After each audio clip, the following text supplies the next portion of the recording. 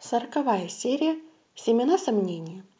Валиде благодарна Мураду за освобождение Касыма за значение. Пока повелитель женится на Фарие, Кеманкеш на глазах у Делин Гюсейна казнит множество повинных в нападении на принцессу людей. Это не нравится Кесен, и она отчитывает сына султана. Валиде вводит Фарию в гарем, но говорит, что Мурат женился на ней из-за жалости. Султан дает понять Айше, чтобы она смирилась с его решением и на... насчет брака с принцессой. Мурат становится свидетелем поединка между Баязидом и Касымом. 41 серия. Пожар революции. Мурат недоволен поединком между братьями и отчитывает Баязида. И отчитав Баязида, узнает, что Кесем Султан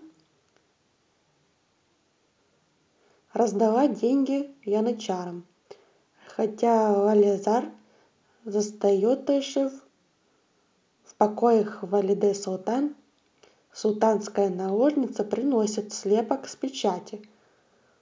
Мурат, Мураду снится, что он встречается с пострадавшим от пожара в Стамбуле черным всадником. Султанская сестра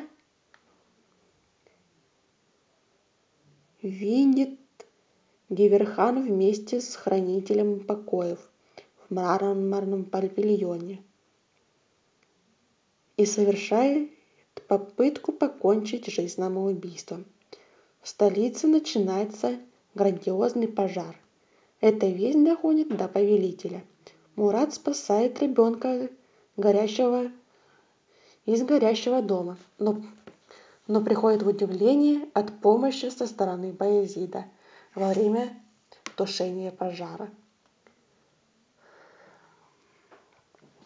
Спасенная от смерти Фария, Фарию Этике говорит принцессе о чувствах между Силахтаром и Гевхерхан.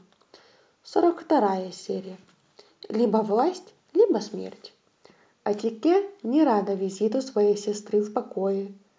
Мурат вспоминает про чрезвычайно холодную зиму, которая была после казни его старшего брата Мехмеда, а затем рассказывает Фарие про случившееся в городе. Силахтар признается повелителю в чувствах Гевхерхан.